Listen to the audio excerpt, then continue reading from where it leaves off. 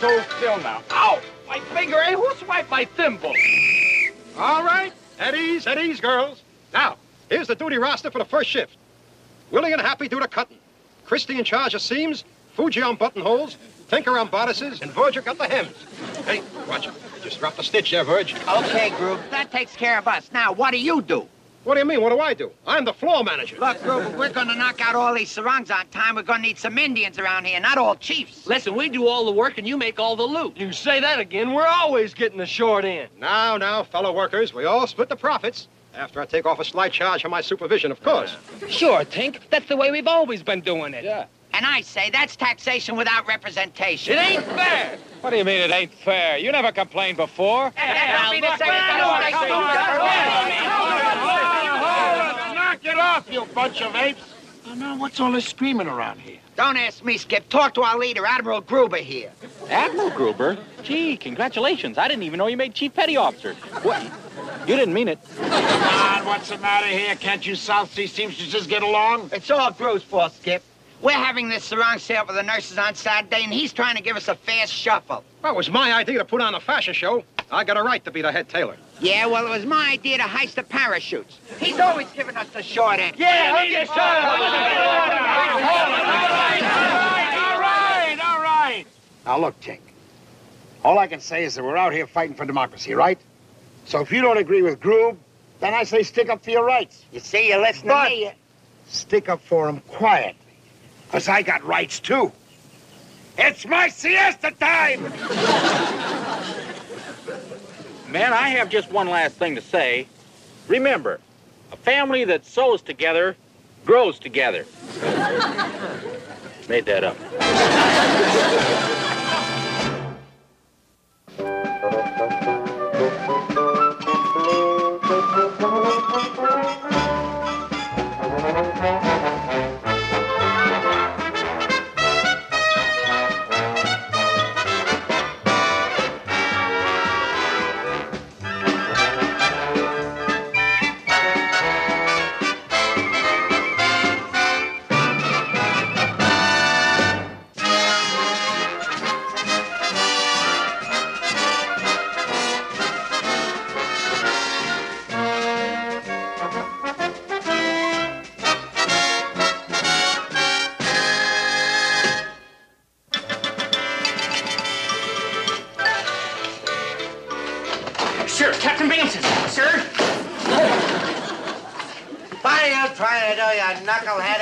Disrupt the whole high command? I'm sorry, sir. I didn't mean to floor you, but this is top priority. The number three supply hut has been hijacked, sir, and that crate of parachutes that you ordered is gone. And there isn't a clue, sir. Ah, clues. Who needs clues?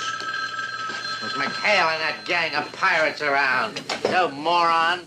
Binghamton, who are you calling a moron? Ah, that, uh, Admiral Reynolds.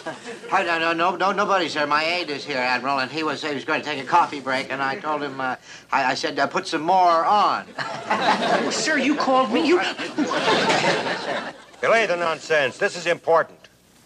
ComSoPac is sending an inspection team to check combat readiness of all PTs in an efficiency test on Saturday. Uh, da- da- yes, sir. Efficiency test for the PTs on Saturday. You make sure your men are ready. Any crew that doesn't shape up will receive an immediate transfer back to Ariake for retraining and reassignment. Do you read me? Oh, da- loud and clear, sir. Loud and clear. Uh, retraining and, uh, and reassignment. Yes, sir. I'll, yes, I'll do that, sir. Get, get on the ball. Yes. Uh, keep a tight ship. Yes, sir. And get the lead out of. Yes. Thank you very much, Admiral. Thank you. Retraining and reassignment? That could be a good way to get rid of Commander McHale. Oh, who's going to wait till Saturday? I'm going to have McHale and his parachute grabbers in the brig within the hour. Get me my hat. Yes, sir. And get the door. The door. Go out the door. I'm going to trust you.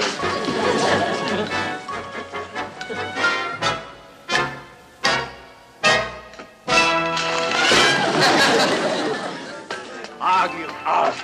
Scream, scream. Everybody big prima donna around here. What's the matter, Fooge? They at it again? Again, it never stopped. Only gets worse. I head for the other side of island for a little peace and quiet. Maybe I even escape. Oh, no, no, no. Don't, don't do anything uh, rash there, Fooge. Come on, Chuck. Let's go over and see if we can stop him. well, Skip, I better put in for another cook if he's going to escape. Come on. I'm telling you, sarongs with shoulder straps are more commercial. Yeah, and it's the latest rage. Maybe in Timbuktu, shoulder straps went out with buggy whips. Besides that, they ain't chic. Chic. They ain't that either. Who are you listening to them cockamamie couturiers? And I tell you guys that this model designed by Gruber should sell like mad. Just look at that. Full bodice and tapered hemline. And I say my backless model with the puff sleeves and the Peter Pan collar will be the smash of the season. Peter Pan collar. Never. Dude, no class. Too gauche. That's your opinion. You're wit. What do you slobs know? What do you know? That's Yeah, what well, I I'm like to know. telling you That's what I know. All right, all right, all right. Will you cut off the noise valves, all of you? Now then, what is the crisis this time? Hattie Carnegie here is trying to tell us what's vogue and what isn't, Skip. Well, anybody would want to put Peter Pan collars on a sarong. Yeah, well, Peter Pan... right, all right, all right. One at a time. One at a time. Go ahead. That crew's bossing me around all the time. For a whole year, he's played the Lone Ranger while I've had to play Tonto. Could have been a lot worse. Could have made you play sober. Please don't give them any more ideas. Anyway, Skip, when I calmly try to tell them that... Calmly, my foot. Yeah, Skip. He was yelling at poor old Groove. Well, he had to. Sure, Gruber never listens to anybody. All right, all right, quiet. Now then, Groob, what's your side? Well, Skip, I got nothing to say. Oh, that'll be the day. Getting everyone from the base out here on Saturday to sell him sarongs was, was my idea. And if he ain't grateful, So, Now, wait a minute. Would you listen to that, Elroy? That's music to my ears. That's a gorgeous symphony. That's simply gorgeous. Don't miss a note. Don't miss a note. Guys, pipe down. Yeah, we need a little togetherness. Remember, a tight ship is a happy ship. And those other Navy slogans. it's the only way I'd ever work with him again if I was tight. well, as far as I'm concerned, you can start beating the sidewalks. You're fired. You can't fire me, because I quit. And furthermore, I'm going into business for myself. All right, all right, all right. All right. Now, you meatheads want free enterprise? Go ahead and have it. I don't care. Do whatever you want. I'm washing my hands of this whole mess. Uh, I better go show him where the soap is. It's cut and dried, sir. I think we can stick them for 30 days. You're not paid to think. You're only a lieutenant. Why should we stick them for 30 days when we can stick them forever? You saw them. They were all at each other's throats. Why don't we just leave them that way through the PT efficiency tests on Saturday? Yes, sir, yes, sir. And if they fail, they'll be shipped out for reassignment. Oh, sir, that's brilliant. Captain Binghamton, you are brilliant, sir. Thank you, Elroy. and thank you.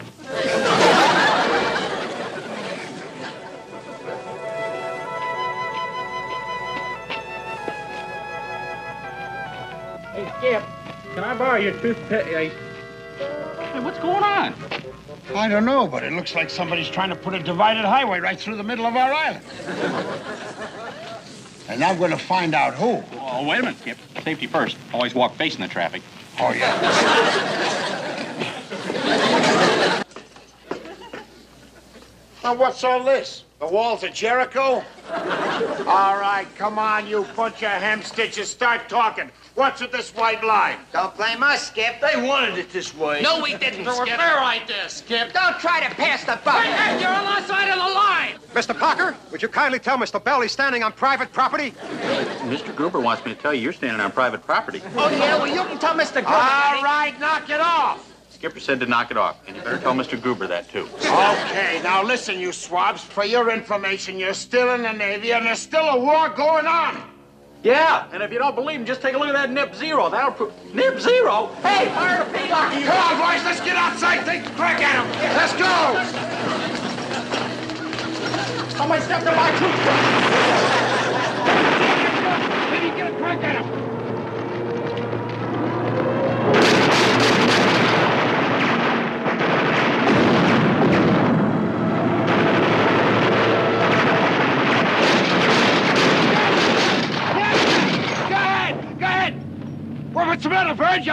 Sights. Why'd you stop shooting? It was on their side of the island. Oh, no. No, I heard it, but I don't believe it. All right, all right, that does it. Now, you schlockmeisters can cut each other's throat in a price war, and I don't care. But when it comes to a shooting war, and you won't cooperate, then I close up your shop forever. Finito. As of right now, you two guys are out of business. Bankrupt, finished, kaput, and that is an order.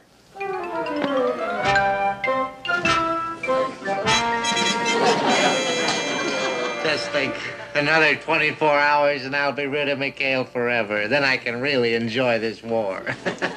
How about that, FD? Mac? Huh?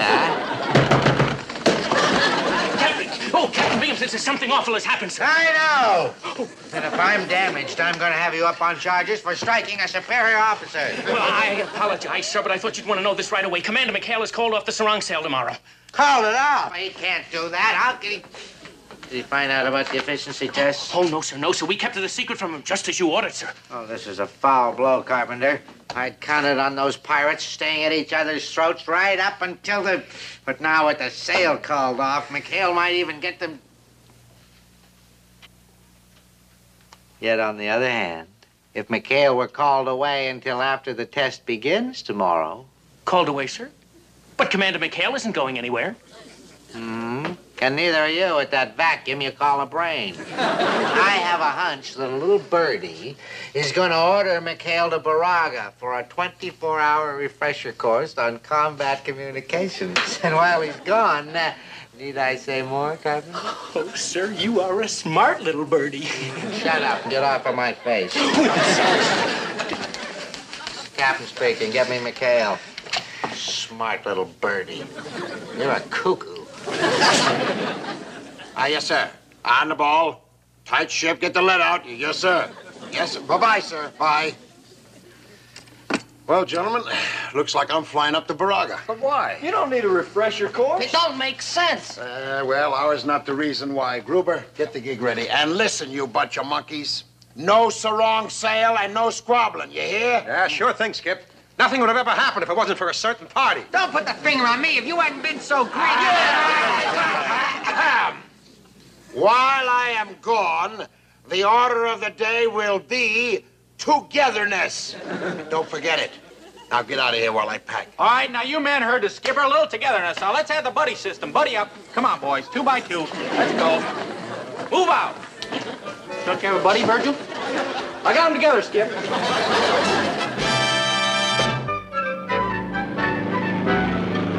Bye, Skip. Bye. Have a nice trip.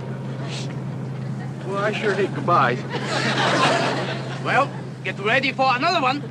Binghamton coming. I going. Bye. Oh, boy, now, now look, you guys, don't panic. Just uh, everybody snap to it, look shape ship. Uh, ship shop, shop, ship. Will do. Try attention.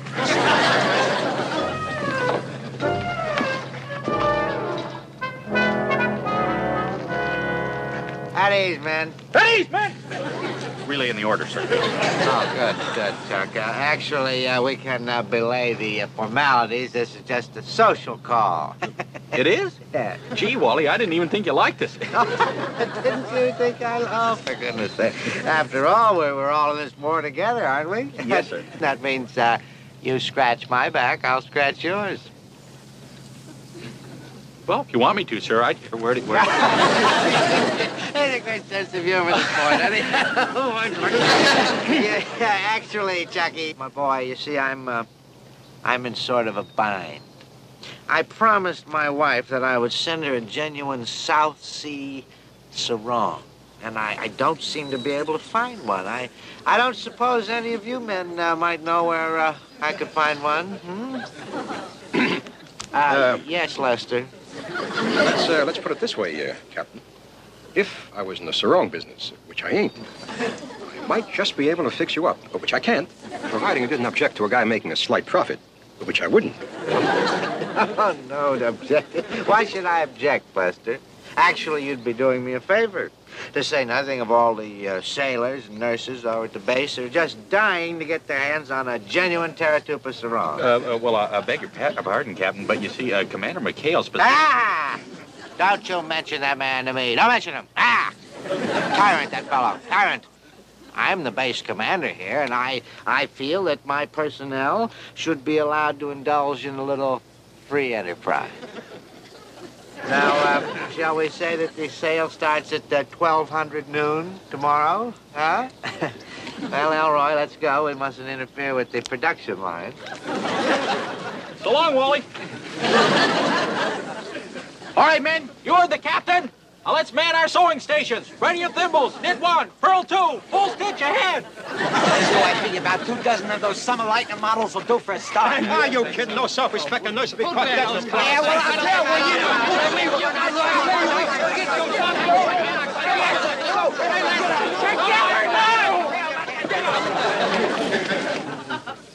Ah, please let them keep it up till 1300 tomorrow. Oh, that's uh, mid-Pacific Standard Time, sir. Good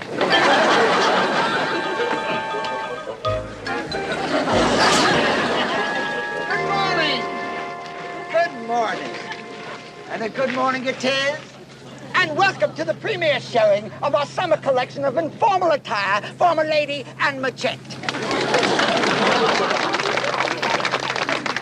Sweet.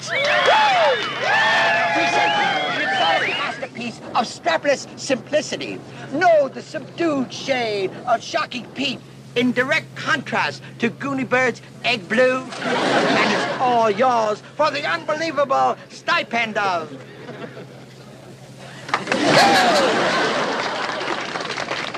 Attention! S'il attention! What you have just seen is strictly for the peasants. Only from Les Maison Grubert can you obtain the dynamic, the daring, the divine Paris look. If you please. Hey, hey. And the prices, they are cut even lower than the neckline. Only $14, and that is factory cost. Ignore the gentleman with the big mouth. We're marking our goods down to $9.95. Pay no attention. Do not get stuck with late junk when we will part with our originals for only $6.95. Uh-huh. And our garments are guaranteed not to wear out. Show them, mademoiselle.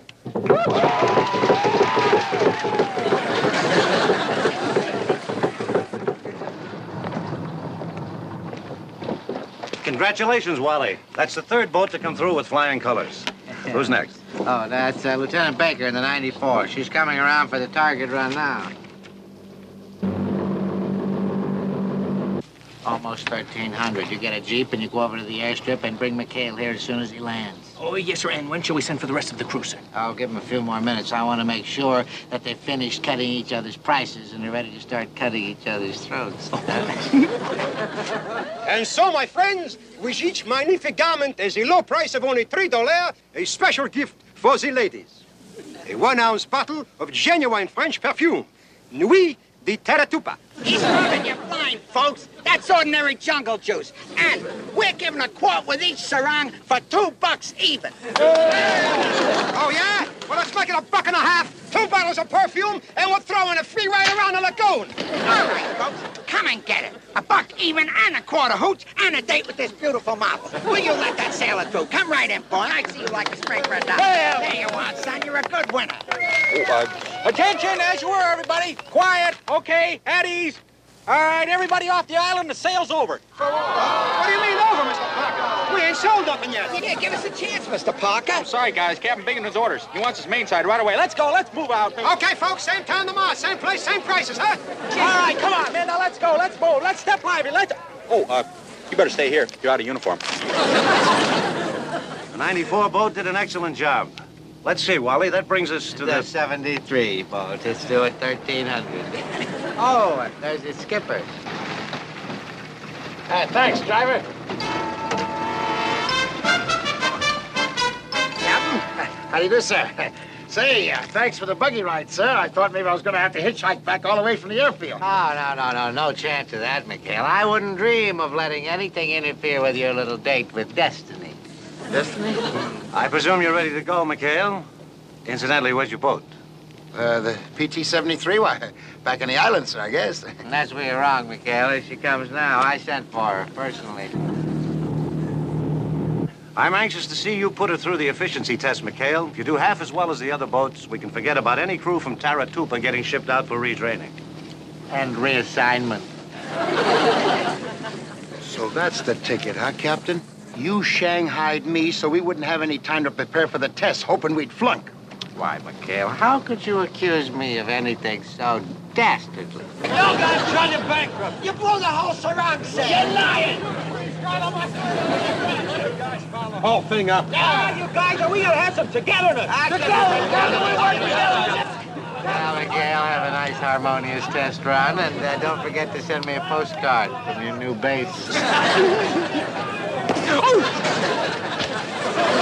Sir. All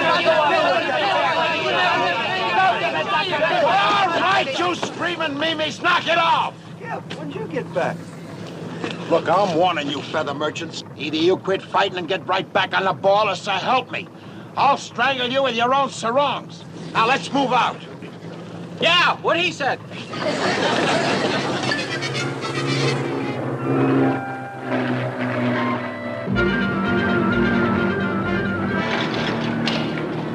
Target plane's starting its run.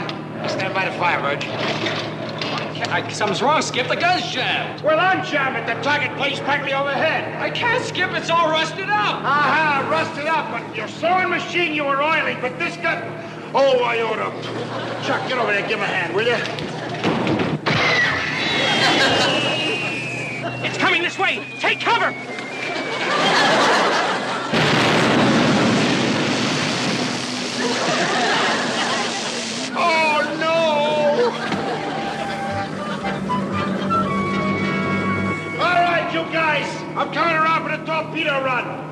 See if you can do something right. Gee, I thought that depth charge had good trajectory. See you win.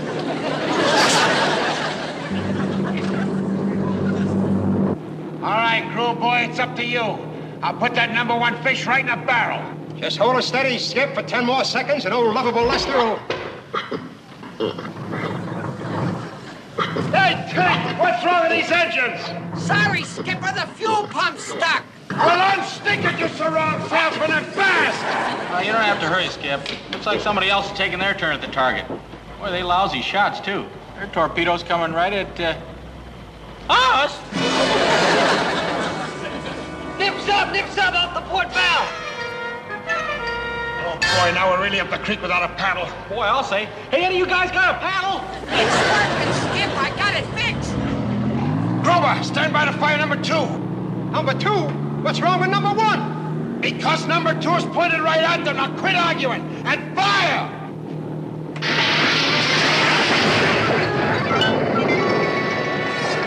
Hey, Grover, what's wrong with that torpedo? It's acting awful funny. I try to warn you, Skip. I had all my merchandise stuffed in that tube. Oh, no! Those blasted sarongs again!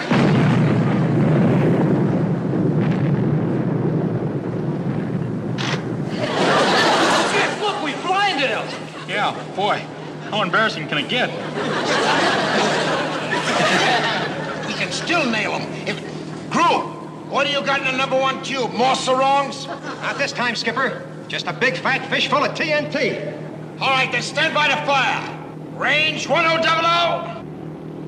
Fire!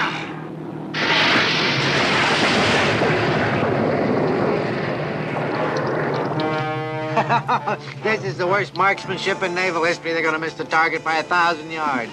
Target? Who cares about the target? They're going to score a bullseye on a nip sub. Oh, sub. What is a sub doing out here?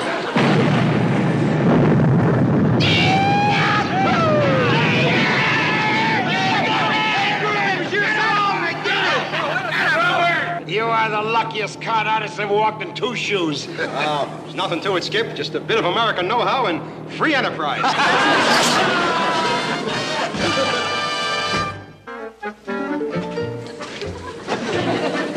I'm going to recommend the 73 boat for a unit citation. Unit citation. Well, they didn't hit the target, Captain. They didn't pass the test. Wally, if that's what comes from guzzling torpedo juice, I'm going to recommend they serve it to every PT crew in the Pacific.